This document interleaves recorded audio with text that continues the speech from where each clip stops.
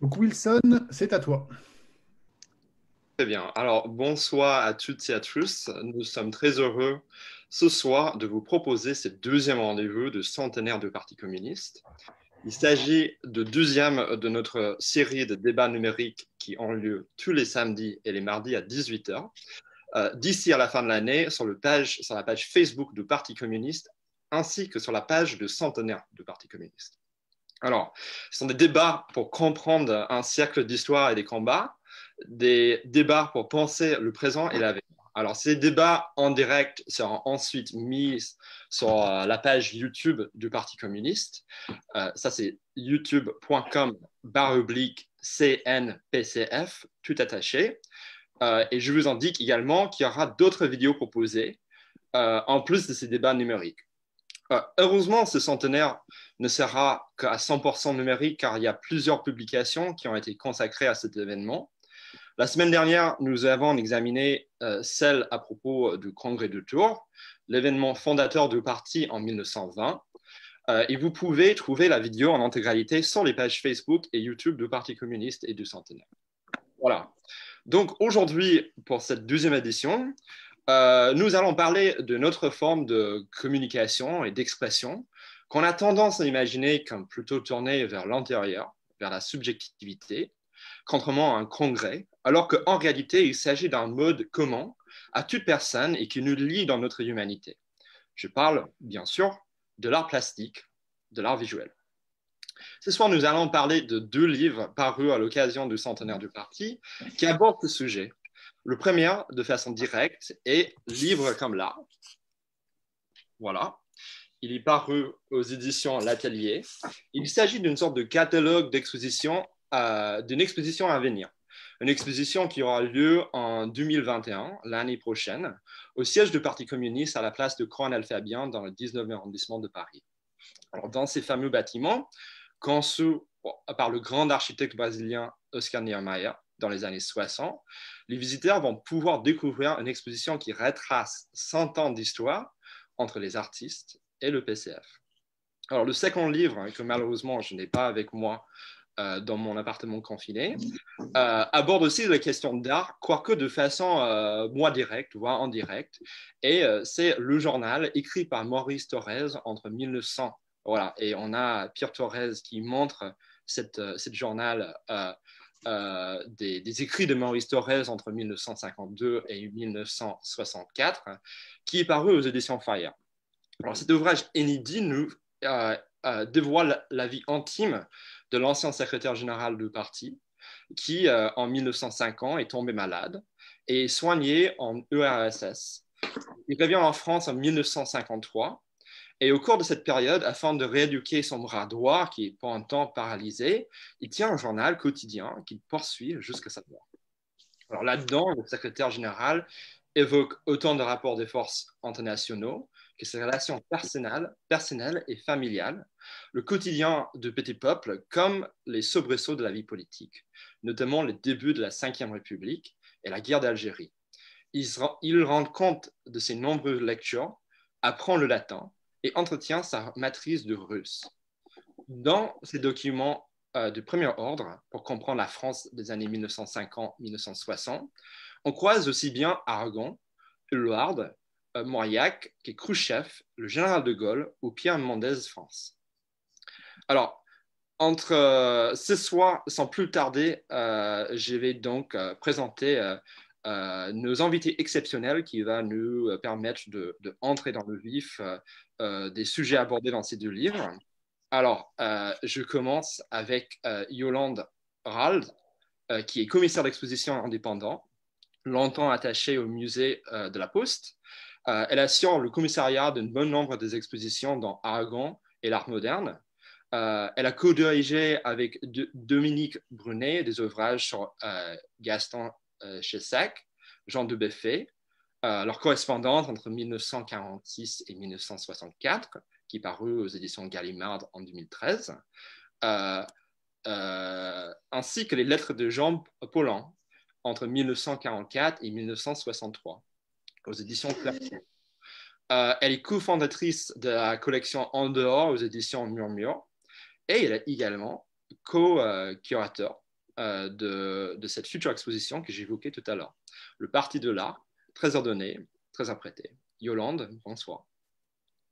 Alors ensuite, Renaud Varro est historien de l'art, journaliste, photographe, commissaire d'exposition indépendant et réalisateur des documentaires pour le Centre national des arts plastiques. Il est auteur des nombreux ouvrages dans euh, Bernard euh, euh, paru aux éditions Beaux-Arts en 2018, La Grande Utopie de Keijo, qui est paru en 2018, et le Pop en Europe, le Pop Art en Europe, pardon, le Pop en Europe, paru aux éditions Marne et Martin en 2020 cette année.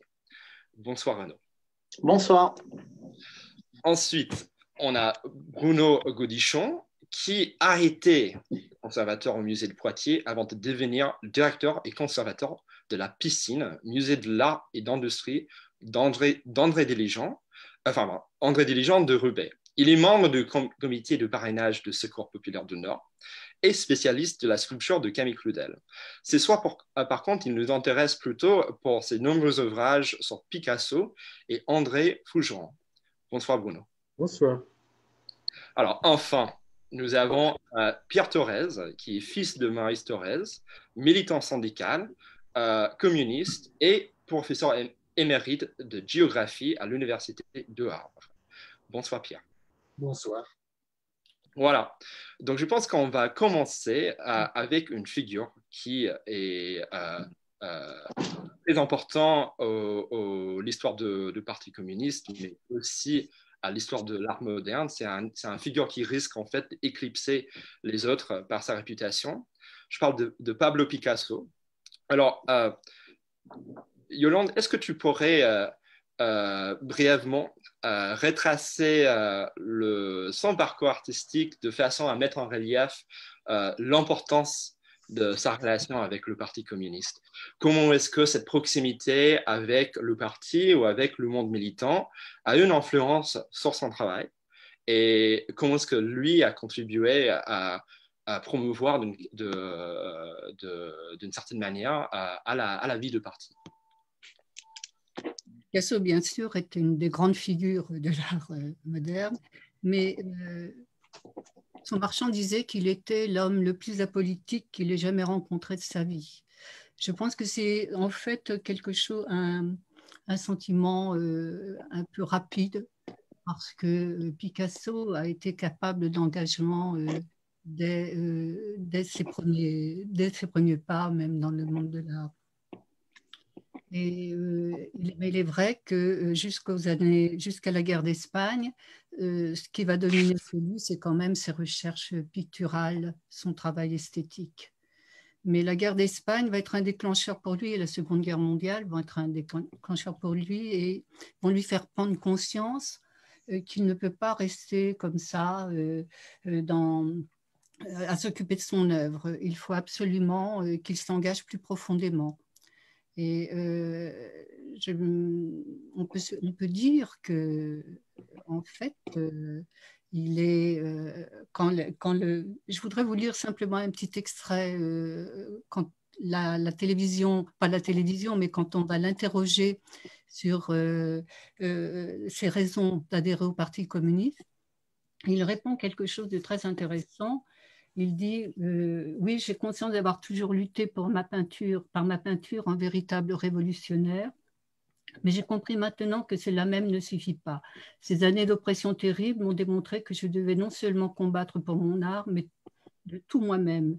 Et alors je suis allée vers le Parti communiste sans la moindre hésitation, car au fond j'étais avec lui depuis toujours. Aragon, Éluard, Cassou, Fougeron, tous mes amis le savent bien.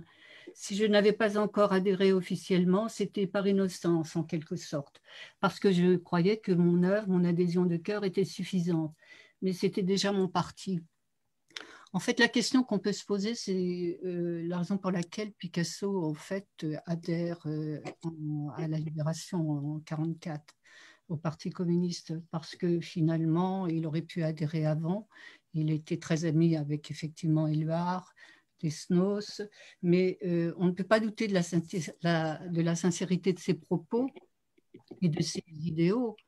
Mais euh, pourtant, euh, c'est une question qu'on peut se poser. Sa célébrité internationale, son génie ne fait pas de doute, mais il est quand même quelqu'un qui fréquente de façon non compromettante les Allemands, notamment Ernst Junger. Et on peut, se, on peut penser qu'à la libération, il y a eu quand même des débordements, des règlements de compte terribles, que Picasso ait pu penser un instant eh bien qu'on pourrait lui chercher euh, des ennuis.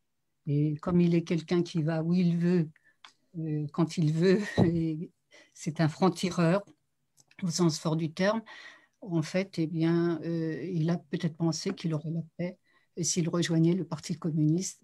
Et à partir de là, il va vraiment s'engager. Il va être quelqu'un de très généreux et on ne peut absolument jamais douter qu'il se soit compromis avec l'occupant euh, il a gardé sa liberté jusqu'au bout. C'est quelqu'un qui est comme les ânes, il va là où il veut, quand il veut. Merci Yolande euh, pour cette réponse euh, instructive et, aussi synthétique. Bruno, est-ce que vous souhaitez ajouter quelque chose à ce qu'a dit Yolande? Non, je pense que là l'essentiel est dit, notamment la, citation de Picasso lui-même. Ce qui est certain, c'est que Picasso est quelqu'un qui a beaucoup, comment dire, donnait de lui euh, pendant, toute sa vie, et que euh, à la libération, le Parti communiste, c'est le, parti des fusillés. Euh, sans aucun doute, il y, a, des liens anciens et naturels entre Picasso et le Parti communiste. Voilà, c'est un mariage équilibré entre le parti et Picasso, hein, 44. depuis la politique de la main ouverte, de, l'ouverture notamment au cercle culturel et artistique du parti. Euh, évidemment, Picasso, c'est la prise exceptionnelle pour le, pour, le parti. En même temps, euh, euh, c'est vrai que Picasso va beaucoup s'engager, notamment pour le mouvement sur la paix. Je crois que ce qui est un peu le creuset, avec des, agenda différent, un calendrier différent, mais ce qui est un peu le creuset de ces adhésions, ce groupe d'artistes importants au milieu des années, à partir du milieu des années 40, 30 jusqu'aux années 40, c'est quand même la réaction au fascisme. Alors, soit pour les premiers euh, euh, très très liés au mouvement qui, euh, qui devinent les, dangers de, de, la montée du fascisme, c'est le cas pour Pignon, c'est même le cas pour, pour Gremer qui n'adhère pas au Parti communiste mais qui en sera toute sa vie très très proche. En fait, le ciment, c'est la naissance des mouvements antifascistes et puis les combats de la résistance qui vont aussi euh, être un marqueur euh, extrêmement fort. Ce qui est juste très étonnant aujourd'hui, parce qu'évidemment, on va parler de quatre ou cinq artistes, c'est le nombre, le nombre de peintres et de sculpteurs de cette génération qui vont adhérer avec enthousiasme au Parti communiste, je pense où on est très proche. Une artiste que vous avez retenue pour l'exposition, qui est, Suzanne Roger, qui est une artiste très, très injustement oubliée aujourd'hui, qui est vraiment une très, très belle figure de, la peinture française du XXe siècle. Euh, elle va, elle va au Parti communiste euh, avec la même euh, intensité. Je, pense que, que, des gens comme Picasso, euh, beaucoup de, dont j'oublierai de citer le nom maintenant, mais les conservateurs de musées qui ouvrent des dossiers sur des artistes de cette génération sont toujours stupéfaits de voir la proportion de ces artistes qui ont adhéré comme une chose très naturelle au Parti communiste après la guerre, comme s'il y avait une sorte de, blanc-seing de pureté, de netteté euh, face à, au méandre de la politique qui suit la libération. Merci beaucoup. Alors, ma prochaine question est pour Renaud. Alors, Renaud, euh, euh, tout comme Bruno a dit, il n'y en a pas peu Picasso qui adhère au Parti communiste. Il y a plusieurs artistes, dont un second très grand artiste est Ferdinand Léger qui est peintre, mais aussi créateur de cartons, de tapisseries, euh, des vitraux, décorateur, céramistes, sculpteur, dessinateur, illustrateur, dans le style parfois euh, appelé par les historiens tubisme pour le distinguer euh, de le cubisme d'autres artistes.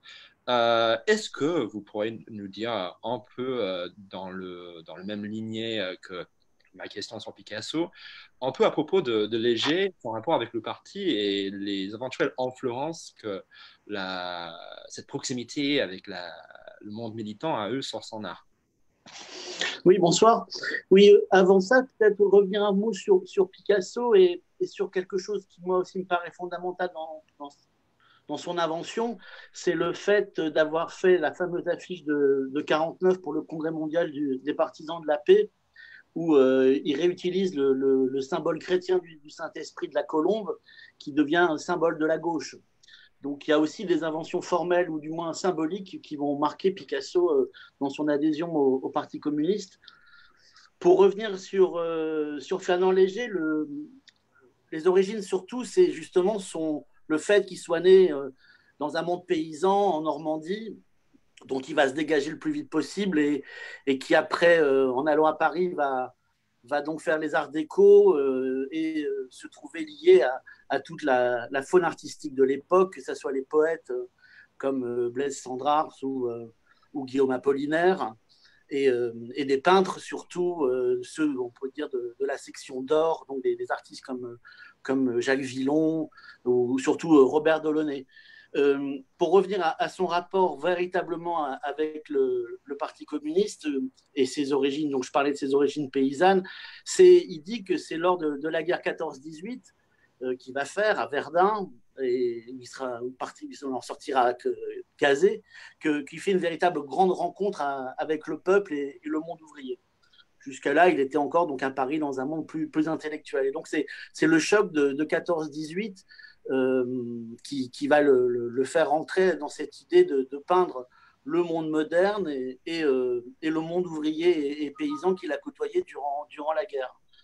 Après, euh, généralement, on, l'incarne un peu toujours comme une sorte de, de Rému de la peinture. Dans, l'exposition, on présente un tableau de Eduardo Arroyo qui fait un portrait de, Léger et qu'il présente un peu euh, justement comme un, comme un gangster des années 20.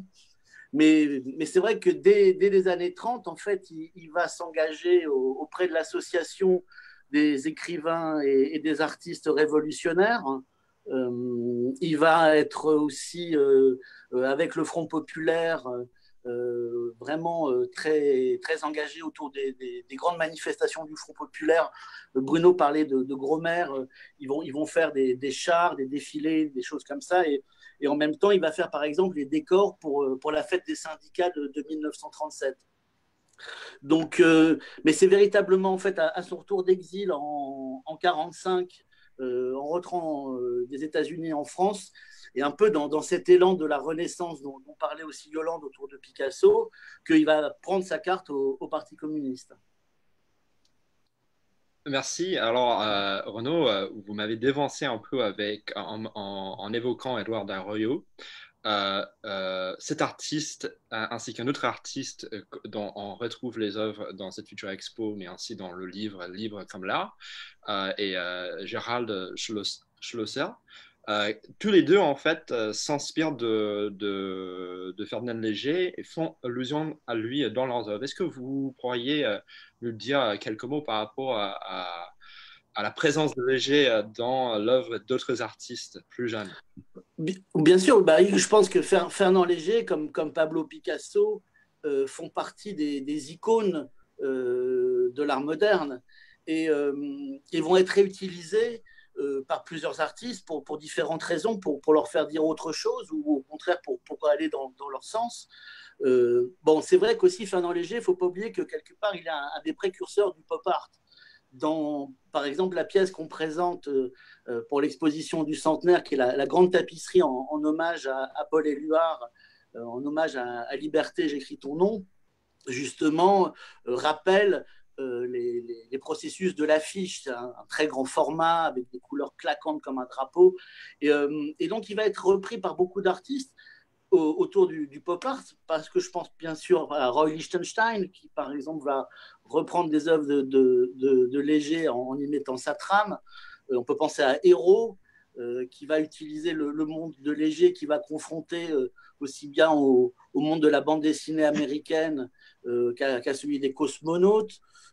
dans les exemples que vous donnez, qu'on a pris dans l'exposition autour de, Arroyo, Arroyo, il s'intéresse à Léger dans l'idée de pouvoir en faire un pastiche aussi. Il a cette idée de, un peu postmoderne qu'on trouve chez, chez Arroyo, de réutiliser les, principes de, l'art moderne à, sa sauce. Et, et avec l'œuvre de, Gérard Schlosser, c'est peut-être un, des artistes contemporains qui a rendu un des plus bels hommages à Léger récemment, avec une série d'œuvres où on voit un, couple qui se balade dans une exposition de Fernand Léger.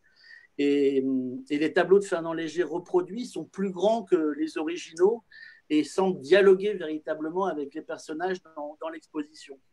Euh, mais c'est un, monstre qui, en plus, dans la révolution formelle qu'il va mettre en avant, euh, va inspirer beaucoup, beaucoup, beaucoup d'artistes. Parfait, merci beaucoup. Euh, ensuite, Bruno, j'aimerais vous poser une question sur un autre courant artistique qui est aussi abordé dans, dans tes livres, et c'est celle de réalisme socialiste. Alors, on a quelques représentants de courant français de réalisme socialiste, notamment André Fougeron, donc, auquel vous avez consacré un ouvrage. Est-ce que vous pourriez, dans un premier temps, euh, nous expliquer un peu ce que c'est le réalisme socialiste pour des, spectateurs et spectatrices et soit qui sont peut-être pas familiers avec, euh, euh, avec le concept, et ensuite parler de ces artistes qui ont adhéré à cette, à cette courante artistique et pourquoi et quels étaient les enjeux là-dedans. le, le, réalisme socialiste ou le, cas, c'est ce naturalisme euh, de, gauche qui, euh, qui marque profondément la peinture plus largement que les réalistes socialistes au sens strict, euh, et un peu formalisé en 1935 par Aragon, dont il ne faut pas oublier le rôle très très important dans tout ce dont on va parler ce soir. Hein. Aragon tire les ficelles dans différents sens d'ailleurs au, fur et à mesure de l'histoire, mais qui publie en 1935 chez De Noël, je crois, un, un ouvrage sur le, euh, la formalisation de cette idée du réalisme socialiste, qui, quelque part, est liée là aussi à cette politique de la main tendue euh, euh, promue notamment par Maurice Thorez, l'ouverture aux artistes, et finalement de, faire, de, créer un art qui, au-delà des révolutions formelles qu'on considère au Parti communiste, il faut bien dire, jusqu'aux années 30, comme des inventions bourgeoises et incompréhensibles par le peuple, de revenir à un art qui parle au peuple et à ses préoccupations. Donc, euh, euh, en France, on peut dire que la grande figure, c'est c'est quand même vraiment André Fougeron, parce qu'il y a à la fois la dimension artistique euh, qui est forte dans, dans, la, façon, et puis un lien extrêmement fort également avec la, politique du parti. Et, sans doute que le point culminant du réalisme socialiste en France, ça sera le pays des mines, commandé à Fougeron euh, en 50, qui va faire que l'artiste va aller s'immerger dans le bassin minier pendant une année pour faire les tableaux sur place et présenter en 51 cet, ensemble d'œuvres euh, extraordinaires qui, qui va être exposé dans la galerie peut-être la plus bourgeoise de Paris, qui est la galerie Bernheim, pour à la fois témoigner auprès du prolétariat des mines de l'intérêt des artistes et en même temps afficher clairement face au regard de la bourgeoisie qu'il ne voit pas ce qu'est la misère du, peuple à cette époque-là. Donc, euh, euh, et, je profite peut-être juste de, cette, de, cette, de, ce passage pour dire que le lien avec le courant pop est chez Fougeron particulièrement net, puisque toute la dernière période de Fougeron, la peinture à partir des années 75-80, est une peinture résolument pop, acidulée, avec euh, euh, ces aplats de couleurs euh, qui, rappellent aussi euh, la formation qu'a eu Foujon, notamment pour. La, Mais voilà, il y, a, ce lien, la suite logique de cette peinture militante, elle va être beaucoup dans le pop et, et Fougeron en fera également partie. Voilà. Je ne sais pas si j'ai répondu suffisamment à votre question, mais je pense que c'est un peu comme ça qu'on peut poser cette question du réalisme socialiste qui euh, n'a pas eu en France le même développement euh, institutionnel qu'il a eu en, Union soviétique, où là où évidemment, de toute façon, c'était la seule solution pour pouvoir montrer sa peinture et sa sculpture,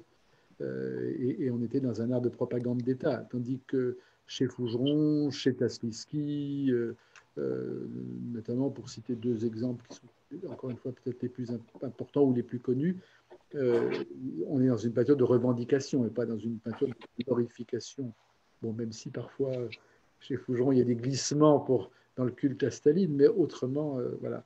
Et, il va utiliser d'ailleurs Fougeron ces modèles de la, de la, de la peinture pop, qui pour lui sont très cohérents avec ses premières étapes, aussi pour, euh, pour avouer ses erreurs vis-à-vis du culte de Staline, avec un tableau très important qui est dans les collections du, musée de Roubaix aujourd'hui, qui, réunit dans une même image les drames du stalinisme et la querelle, la fameuse querelle du portrait de 53, qui l'oppose à Picasso à, la une des lettres, françaises au moment de la mort de Staline.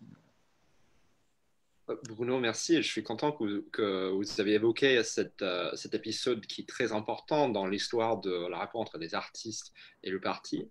Euh, c'est effectivement euh, au moment de mort de Staline, Aragon invite Picasso à réaliser un portrait de, de, de, cette, de cette dirigeant du, du, Parti communiste russe. Et alors, euh, il le fait euh, pour, et euh, son portrait apparaît sur l'une de lettres français.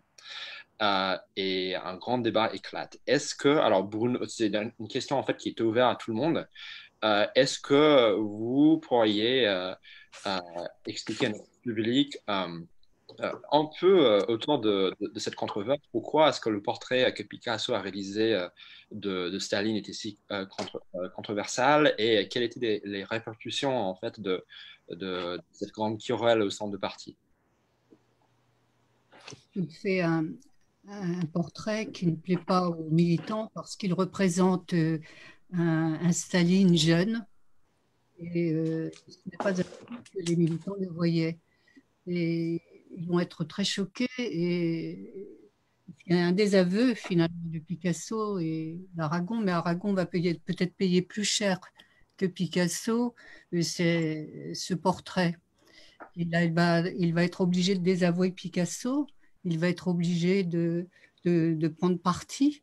Et c'est vrai que ça va donner lieu à des confrontations, à des, oppositions de la part des militants. Euh, à tel point qu'on n'a jamais d'ailleurs retrouvé ce portrait, on ne sait pas ce qu'il est devenu, s'il a été déchiré, euh, s'il a été récupéré, mais en tout cas, c'est vrai que ça fait couler beaucoup d'encre et que euh, Picasso, finalement, s'en tire toujours par une boutade. Il dit, voilà, j'étais... je suis allé à l'enterrement, j'ai apporté un bouquet et finalement il n'a pas pu à la famille et c'est comme ça dans les familles. ça, ne, ça ne va pas beaucoup euh, perturber Picasso. Je crois que ça a beaucoup plus perturbé euh, Aragon parce que les enjeux ne sont pas les mêmes. Et, perturber beaucoup, Fougeron, dont la, dont la mémoire est aujourd'hui euh, pratiquement entièrement collée à cet épisode. C'est-à-dire que moins, moins son œuvre, il, est presque connu moins par son œuvre que par cette polémique dans laquelle il est rentré en plus de façon euh, involontaire, parce qu'il il avait effectivement euh, écrit un courrier, parce qu'il y avait eu un appel à la réaction des militants euh, après l'apparition du projet. Il avait écrit un courrier en demandant que son nom soit caché, et puis finalement, le nom n'a pas été caché, il a, il a, payé le prix très très fort de, de s'être attaqué à, à, Picasso, dont il avait pourtant été extrêmement proche, notamment à Darwin. mais il y a d'autres unes dont on peut parler de Picasso aux lettres françaises, dont celle euh, qu'il a faite bien sûr avec la, Colombe euh, et, celle aussi qu'il a faite pendant la guerre d'Algérie avec euh, Boupacha. Boupacha, oui. Pour, la, pour la Colombe, je ne vais pas monopoliser la parole, mais pour la Colombe, il faut quand même garder un peu raison dans cette histoire, parce que le, choix de la Colombe revient plus à Aragon, qui découvre dans, dans un carton de, dessin ou de gravure de Picasso qu'à Picasso lui-même. Euh, mais euh, effectivement, il y, a, il y, a, ce sens de la propagande et de l'image qui est très fort chez Aragon, qui lui fait trouver la bonne image euh, à ce moment-là. Et d'ailleurs, il y a un portrait de, de Maurice Thorez avec, par Fougeron, où Fougeron colle le visage de Maurice Thorez et la colombe de Picasso pour montrer que finalement, le lien entre les deux n'était pas aussi, euh, euh, comment dire, hérissé qu'autour du portrait de, de, Staline. Voilà. C'est un, très beau gravure d'un portrait de, Maurice Thorez par, par, Fougeron, où, la colombe apparaît en premier plan. Chez Picasso, il y a peut-être un lien inconscient à voir avec la recherche du père qui peignait des, colombes aussi. Oui, et, d'ailleurs, il ne faut pas oublier que dans les arguments qu'il donne pour défendre son portrait de Staline, il explique qu'il n'est pas parti du visage de Staline, mais du souvenir qu'il avait du visage de son père, parce que finalement, euh, ce que tout le Parti communiste pleure en 53, euh, c'est le, le, petit père des peuples. Voilà, évidemment. c'est une histoire qui aujourd'hui nous paraît romanesque, un peu, un peu, un peu étrange, mais qui est, qui est à l'aune aussi des, de l'ardeur des combats de, de, période. Hein. C'est évident, on rentre dans les, guerres de décolonisation. Euh, Staline est très, très auréolé des, combats euh, face, à, euh, face aux nazis. le monde est beaucoup plus tranché qu'aujourd'hui. Voilà, c'est une époque où il fallait faire un choix. Après, les militants du Parti communiste étaient vraiment habitués précisément à une peinture extrêmement réaliste, est assez, assez figé. Et, ce portrait de, Picasso, en soi, ce n'est pas, le, pas le dessin, l'œuvre qui posait un problème, c'est plutôt l'adaptation de ce portrait aux circonstances et au support de, des lettres françaises. Je pense que, et notamment pour Fougeron, la question n'était pas du tout de dire c'est un mauvais portrait, c'est est-ce que le Parti communiste, dans un organe officiel, doit donner ça comme portrait de Picasso de, Staline le jour de son décès. Voilà. Ça, touche au blasphème quasiment. Oui, mais je pense que là, Pierre pourrait nous en dire plus parce que il, était euh, euh, un peu plus jeune, mais au cœur de, de, ce débat euh, qui a été très important et, qui a finalement été tranché par Thorez lui-même. Hein, voilà. Pierre, est-ce que vous souhaitez partager avec nous un peu vos souvenirs de cette époque? Euh, bon, là, moi, sur, ces, sur cette affaire-là, j'étais vraiment, très jeune, mais ce que, je peux dire, c'est que ça avait attiré l'attention. Je suis tout à fait d'accord avec ce qui vient d'être dit, c'est-à-dire que ça touchait au blasphème, que c'était le parti qui donnait une telle représentation de Staline. Et euh, il y avait euh, un certain nombre de camarades, incontestablement, qui étaient choqués par cela et euh, il faut bien dire un certain nombre de, dirigeants à ce moment-là, euh, qui d'ailleurs ont, cessé d'être quelque temps après. Bon, mais ça, c'est un autre problème. Euh, mais ceci a amené, je pense, à être extrêmement prudent et à faire en sorte que le Parti communiste français s'est éloigné, du moins Maurice Thorez, s'est éloigné d'une officielle. C'est-à-dire qu'il euh, considérait que c'est aux artistes, c'est aux créateurs de créer, euh, certes, un art qui puisse être compréhensible, qui puisse être accessible, qui défende les bonnes causes, mais euh, au point de vue formel, euh, c'est aux artistes de, s'exprimer et il n'y a pas à dire ça c'est bien, ça c'est pas bien. Je pense que c'est ça, ça qui a été aussi tiré euh, de, cette affaire, la leçon qui en, qui en, a été tirée, de se refuser à, définir un art officiel. Je voulais juste revenir sur une chose, euh, quand ce marchand de tableaux disait que Picasso était apolitique, moi je serais presque d'accord avec lui en ce sens que pour lui, bah, les causes que défendait le Parti communiste et lesquelles il adhérait hein, contre le fascisme, pour la paix, etc., tout cela pour lui c'était absolument naturel. Bon, et, je dirais, il était, il était apoliticien. Il était fondamentalement, fondamentalement révolutionnaire dans sa vision du monde, comme dans, comme dans ça. Je voulais juste préciser, préciser ce point. Merci Pierre, je suis euh, contente d'ailleurs quand on vous a donné enfin la parole parce que c'est l'occasion euh, de, euh, faire la transition entre notre discussion de Libre comme l'art et le journal de Maurice Thorez, dont vous êtes non seulement le fils de Maurice Thorez, mais aussi l'éditeur du journal de, votre père. Alors, dans ce journal, malheureusement, je n'ai pas eu l'occasion de le consulter avant notre débat, mais dans ce journal, j'ai cru comprendre qu'il y en a beaucoup de réflexions, aussi des, des, des, des souvenirs, des moments passés avec les artistes, des réflexions sur l'art et la culture. Est-ce que vous pourriez nous parler un peu de idées de, de, votre père vis-à-vis l'art? Oui, c'est un vaste sujet. Non, alors, ce que je disais tout à l'heure, c'est que je pense qu'il considérait que c'était aux artistes de s'exprimer et qu'il n'y avait pas à définir en tant que parti politique une ligne. Après, les goûts, les, sensibilités des uns et des autres, c'est autre chose. Euh, il était très curieux, il s'intéressait beaucoup et euh, dans ses rapports avec euh, les artistes, il était très respectueux de leur travail d'une façon générale. Et bon, il y, a, des choses, je pense, par exemple à cet épisode qu'il raconte dans son journal d'une promenade avec Picasso dans le midi et ils entendaient, les paysans et le chant. Et euh, à la vie, on entend les hommes qui parlent. Et Picasso d'ajouter, ben, voilà, dans les villes, on n'entend plus, on n'entend plus les hommes. Il y a d'autres bruits, il y a d'autres formes. et il dit peut-être que l'art abstrait euh, trouve, ses racines là-dedans. Euh, et je pense que c'est ça qui est, aussi extrêmement intéressant. C'est-à-dire que je pense que mon père, auprès de gens comme Picasso et d'autres euh, recevaient énormément. Hein, et je pense que par ce qu'ils représentaient pour eux, étant, étant ce qu'ils sont à cette époque-là, hein, euh, la place des individus et tout, c'était un peu mais comme l'incarnation d'une cause, hein, et non pas seulement un individu.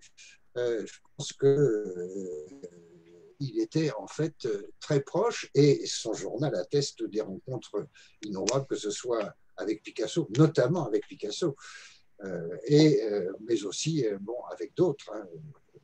Bon, Léger est mort assez rapidement, mais ensuite avec, avec Bouclier, bon, Savignon, bon, Nadia Léger par la suite. bon, aussi, enfin, bon, c'est des gens que c'est des gens que l'on voyait, que l'on voyait à la maison, je veux dire. Euh, et euh, avec lesquels les relations étaient vraiment des relations très, très fraternelles.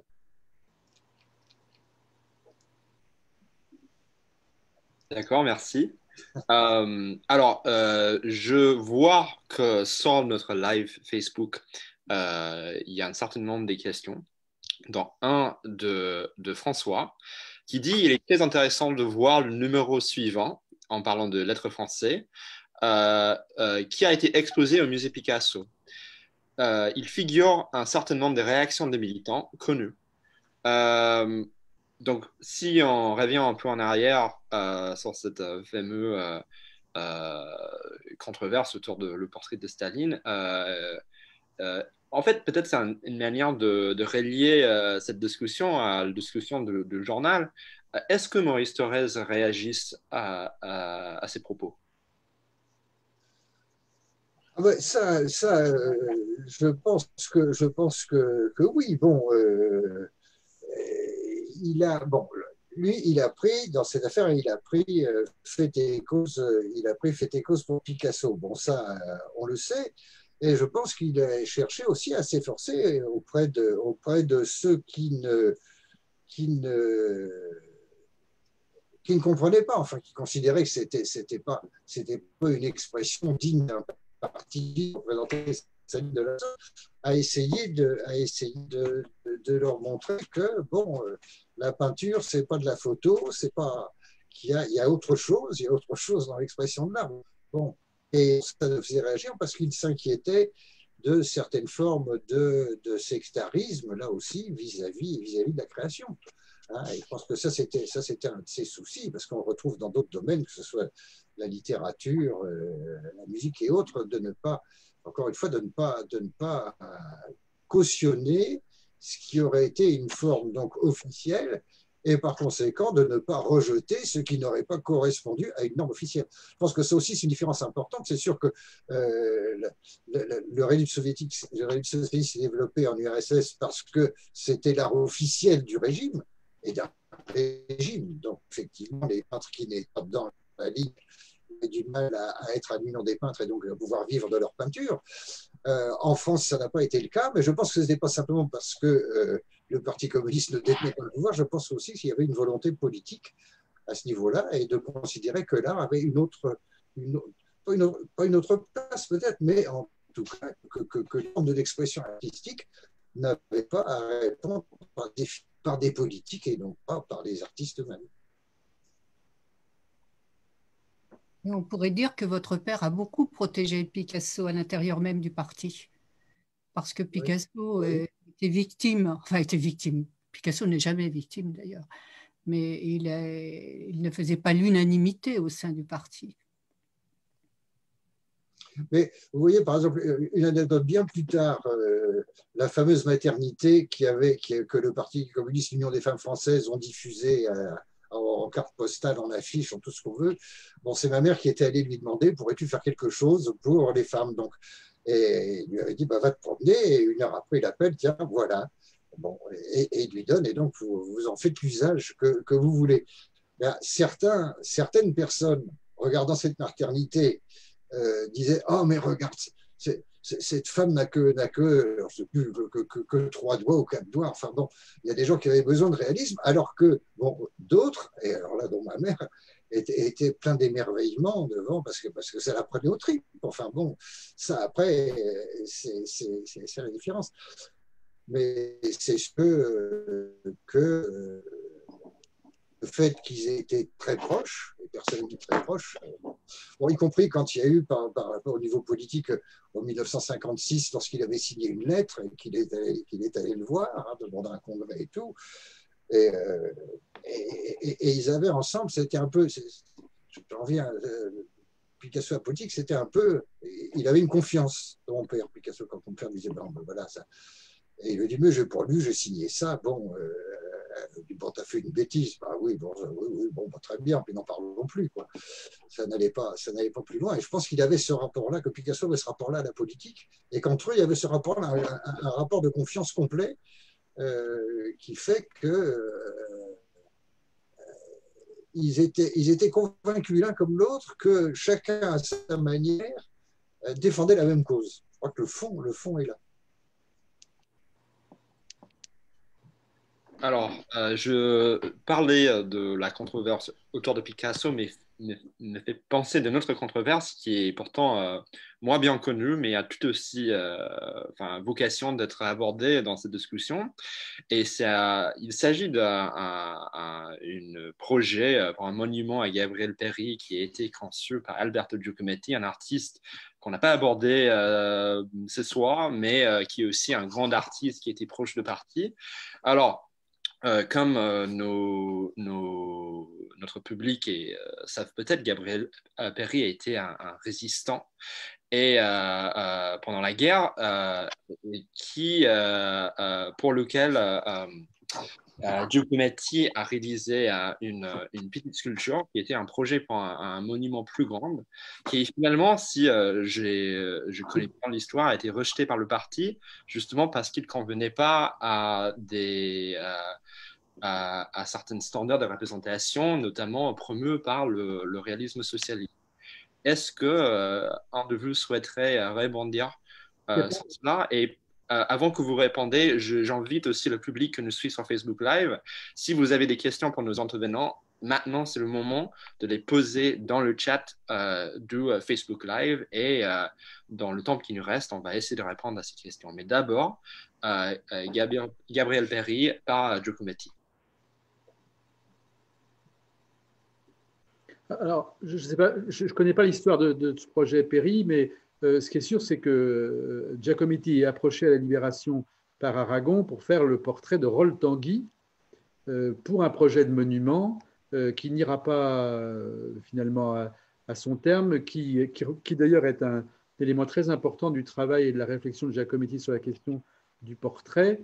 mais il y, a, visiblement là un désaccord de projet entre le, parti et, et, Giacometti, parce que c'est, on est finalement un peu dans la même querelle que le, que le portrait de, de, Staline par Picasso. Euh, ce qu'on attend, euh, c'est-à-dire un buste classique ou un monument euh, héroïque n'est pas du tout ce que propose Giacometti. Et alors, je veux juste dire que le, musée de Roubaix a, consacré à cette, cet épisode du portrait de Rolf Tanguy une, une, très jolie exposition au moment de la réalisation en 2018 et que c'est vraiment un, élément et historiquement et pour l'histoire de l'art extrêmement important parce que ça représente, au-delà des toutes petites esquisses qu'avait faites euh, Giacometti, une, véritable étape dans sa réflexion sur le portrait. sur le, monument à Gabriel Péry, là, je ne saurais pas en parler. Ajouter qu'il va y avoir une exposition d'ailleurs consacrée à Rolf Tanguy au musée Jean Moulin en mars. C'est la raison pour laquelle nous ne pourrons pas avoir les bustes de Rolf Tanguy d'ailleurs par Giacometti.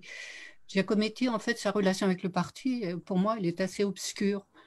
Euh, je n'arrive pas bien à comprendre et euh, bon, évidemment un homme euh, très proche des idéaux du Parti communiste, mais il ne s'est jamais vraiment engagé. Il n'a jamais été encarté en tout cas.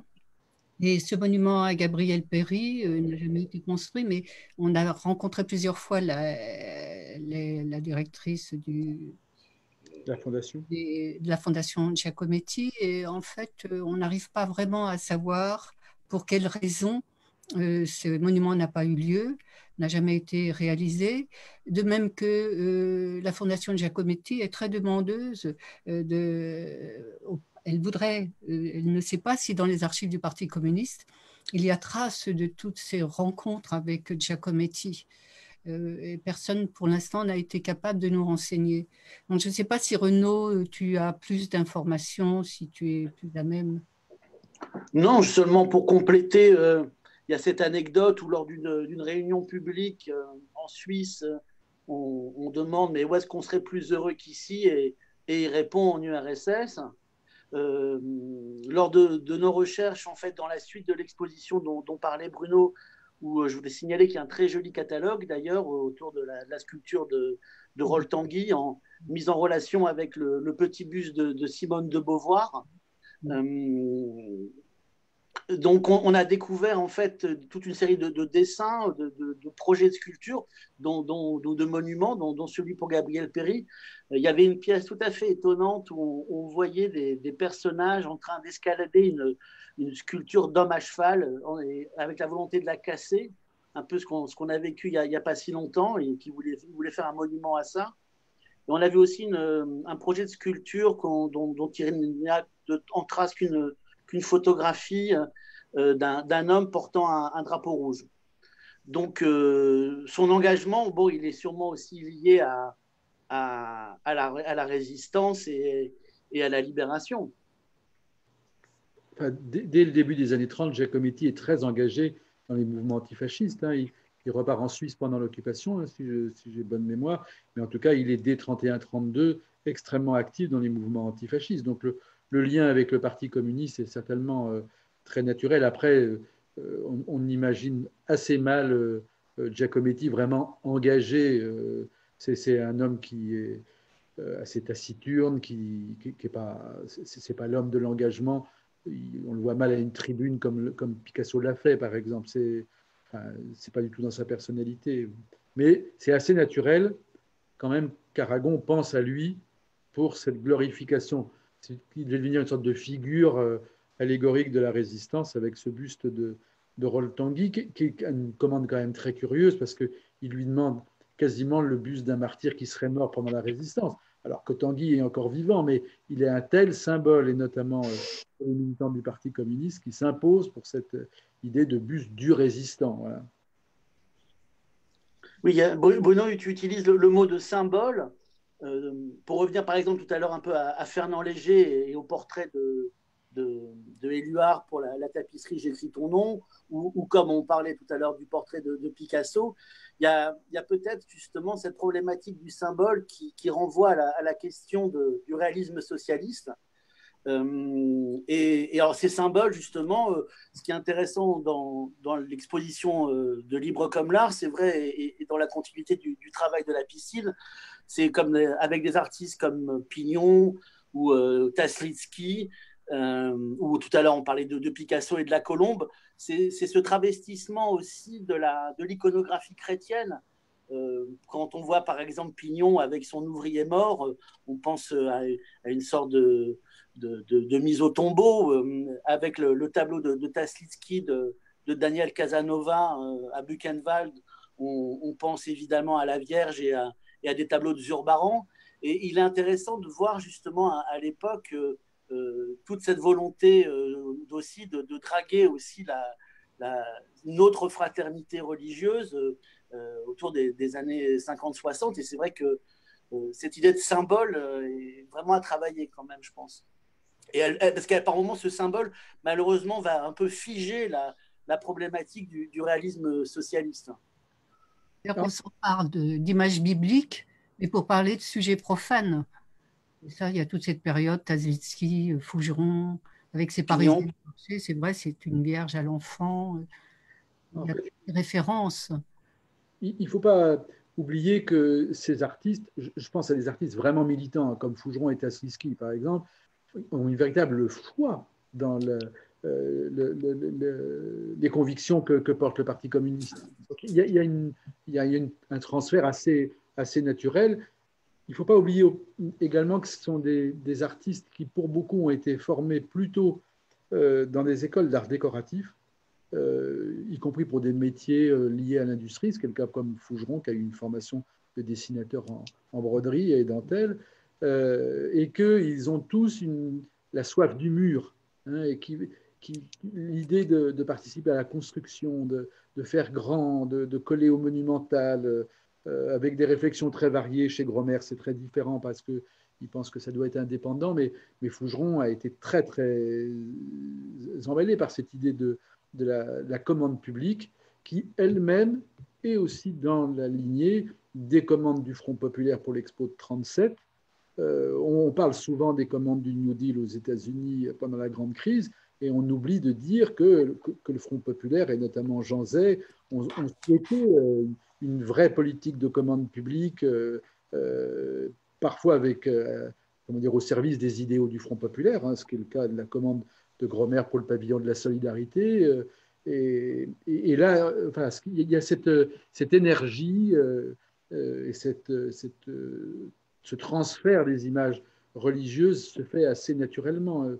Fougeron, par exemple, dans les années 47, fait beaucoup de choses inspirées par les vitraux du Moyen Âge. Euh, et, Picasso lui-même euh, est, très marqué. L'homme au mouton, c'est quand même vraiment très très lié à, cette question de l'imagerie euh, populaire de Saint Jean-Baptiste, qui est très important en Espagne. voilà, ils ont tous eu cette soif de connaître. La formation, notamment à cette fameuse maison de la culture de Belleville, hein, où beaucoup sont passés dans les, années 30. il y a cette, cette idée. Les intellectuels viennent euh, parler avec euh, les ouvriers, dont certains ont des, talents pour la peinture. Mais cette, notion de partage, de fraternité, de, culture euh, est, très très importante. Et c'est vrai qu'à ce moment-là, le Parti communiste va venir le creuset de cette, cette dimension. à un moment où ça n'intéresse pas du tout, du tout les autres partis politiques. Il n'y a, y a, y a, rien qui s'en rapproche. Euh, et encore une fois, je pense que la personnalité de Maurice Thorez, à l'intérieur de ce dispositif, a énormément joué. Enfin, Pierre évoquait les, fraternités entre Thorez et, les artistes. Il y a un vrai souci chez Thorez de, euh, de, de, lien entre les idéaux du parti et puis euh, une nouvelle façon de voir la peinture. Puis après, il y a un dernier élément, quand je vais monopoliser la parole très longtemps, mais il, faut aussi rapporter cette fidélité au motif à la concurrence que se fait l'art européen avec l'art américain et la montée de la, le, triomphe de l'art de abstrait euh, qui, est indéniable. Donc euh, c'est aussi une façon, au milieu des années 50, de se distinguer de l'impérialisme américain que de revenir à un art occidental figuratif. Ça, je pense que c'est très, très important. Et, on voit comment euh, ça pourra être mal compris, comment Picasso, par exemple, est vilipendé par toute la jeune scène artistique française quand il présente ses œuvres, les dernières œuvres de, euh, de sa production au début des années 70. Euh, parce qu'il y, y, a une question de décalage Et en fait, je pense que, et pour Picasso, et pour Foujon, etc., c'est aussi une question de résistance à la montée de, cette, de l'art américain, qui en plus s'est imposé euh, euh, de façon très politique et économique avec l'aide de la CIA. Enfin, euh, je ne peux pas refaire ce procès, hein, parce qu'il n'est pas question de dire que l'école de New York n'a pas d'importance dans l'histoire de l'art, mais, mais en tout cas, si on se replonge dans les antagonismes très forts de la guerre froide dans les années 50, c'est assez normal que les peintres de la figuration aient plus vers le Parti communiste que les peintres de l'abstraction. Pour faire une aparté sur ce que dit peut-être Bruno et sur l'idée de cette non-figuration, euh, il y a aussi justement euh, à la libération euh, l'importance des, peintres comme bah, Kandinsky, Paul Klee, qui vont marquer aussi toute une génération et qui sont aussi des peintres antifascistes.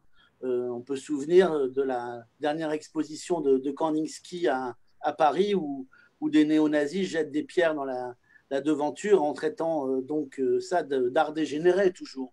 Donc il y a aussi quand même une génération d'artistes, je pense à ça parce que je voulais parler peut-être justement d'artistes liés à l'abstraction et, qui seront proches du Parti communiste, dont particulièrement bah, Ladislas Kido, dont la Fédération de Paris conserve beaucoup, beaucoup de pièces. Euh, et, c'est intéressant justement chez Kino de voir cette transition de la forme euh, monumentale, sculpturale qui, vient de Fernand Léger quelque part pour partir vers un, éclatement beaucoup plus dense et beaucoup plus proche de, de Pollock, mais en utilisant aussi par exemple le graffiti politique et qui donc va graffiter le tableau de, slogans comme OS assassin, euh, et donc euh, tout d'un coup aussi d'une abstraction qui va, qui va prendre un, sens antifasciste. Moi, je voudrais aborder, je voudrais aborder une question qui revenir un peu. C'est le, le, fait qu'il y avait une volonté aussi chez le Parti communiste, en tout cas chez mon père, de rendre l'art accessible, c'est-à-dire qu'il y ait des expositions que les ouvriers, que les, les, les gens qui ne sont pas des, des points de formation, il y a l'habitude d'aller dans les musées et tout, puissent y avoir accès. Et de donner accès à euh, quelque chose de très vaste. Et je pense qu'un des éléments euh, qui, qui, qui, culmine à ce niveau, c'est l'exposition euh, que j'ai, l'exposition Léger, que Léger Moscou en 1903, et qui avait été bloqué par euh, dire, les, tenants d'un réalisme socialiste rigide qui voulait à tout prix empêcher cette, cette, cette, cette exposition. Et pour qu'elle ait lieu, finalement, ben, mon père a fait le, la préface du catalogue de l'exposition. Ça a été le moyen parce que là, euh, bon, euh, comme il était copain aussi avec Khrouchtchev, là, quand il dit bah, c'est moi qui ai fait la préface, ah bon, ah oui, ah bon, parce que Léger était considéré aussi comme, euh, bon, par, les tenants d'un réalisme socialiste rigide, comme, comme euh, bah, je sais pas quoi, mais en tout cas, n'était pas, pas le bienvenu du tout. Et donc, je pense qu'il y avait ce souci euh, chez dans le Parti communiste, et ceci explique cela, hein, c'est dire que de, de, rendre l'art accessible au plus grand nombre, à la fois pour voir et en même temps aussi pour pratiquer là, on pourrait revenir sur tout ce qu'était le, le, communisme et les, écoles d'art de peinture qui ont, qui ont été qui ont développé dans la mesure du possible un peu partout. Ce, ce, lien-là, je pense que c'était important aussi de, de, nous souligner puisqu'on est entre peinture et parti communiste. Oui, et puis il y, a tout le rôle de l'édition aussi qui est très important, de la diffusion.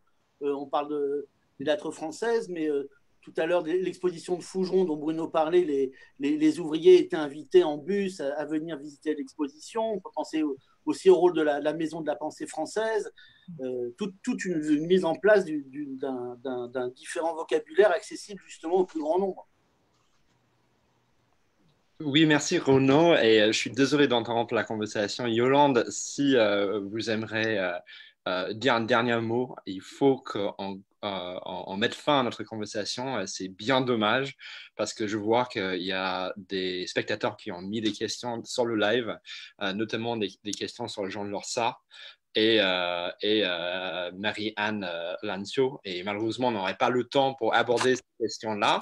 On pourrait parler pendant des heures et des heures, et moi, j'aurais bien envie de faire ça, mais malheureusement, on n'a pas le temps. Yolande, oui, c'est que un dernier mot. C'est un sujet de thèse et ce que nous avons fait euh, dans, avec Renaud dans le catalogue Libre comme l'art est évidemment frustrant parce qu'on n'a pas pu aborder tous les sujets, bien sûr, en si peu de place. Une chronologie qui n'est pas satisfaisante non plus parce qu'elle occulte beaucoup d'événements majeurs, aussi bien dans, au plan politique mais que faire hein, À travailler, c'est un sujet de thèse, il faut approfondir tout cela.